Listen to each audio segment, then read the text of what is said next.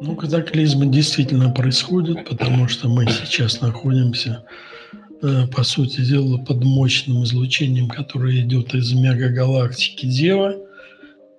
И еще одно излучение из созвездия Стрельца, которое фокусируется именно на Землю в связи с тем, что здесь идет смена энергетического потенциала нашей планеты. Это меняет и магнитосферу Земли. Это очень трудный процесс, тяжелый. Он отзывается катаклизмами. Что можно сделать? Можно. Безусловно, можно. Человек – это глобальный фактор мироздания. И будет такое коллективное а, управление всех участников вебинара по эм, как бы нормализации событий на Земле, потому что это действительно очень такой трудный период. Не все под него адаптированы, причем там много, во многих случаях он сопровождается даже смертным, смертными исходами, и болезни, и коронавирус, который пошел, это все следствие изменений, вот этих глобальных изменений, э, ну, как бы в ионосфере Земли.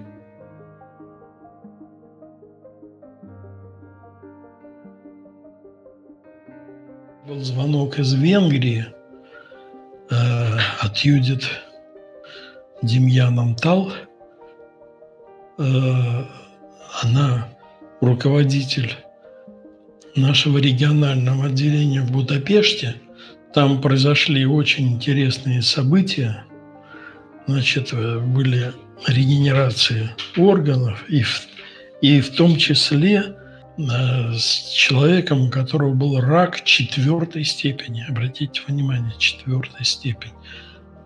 Везде считается неизлечимым во всех странах мира. Это стадия уже... Здесь в данном случае все повернулось и причем это у нас не первый же случай, у нас уже довольно много таких случаев.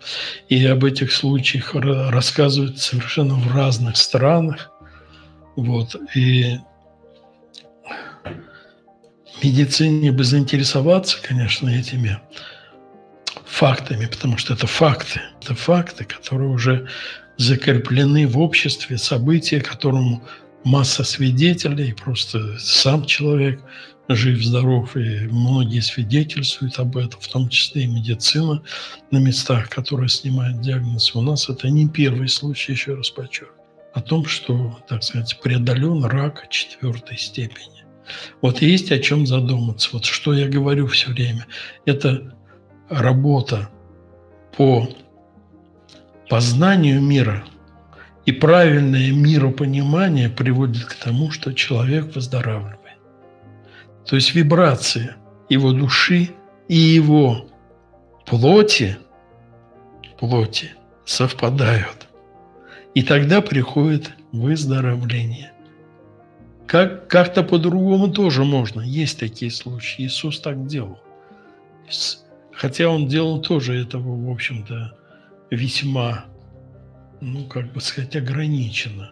Тысячи людей стояли вдоль дорог, тянули руки, но он отзывался на просьбу только кого-то одного, того, кто был готов.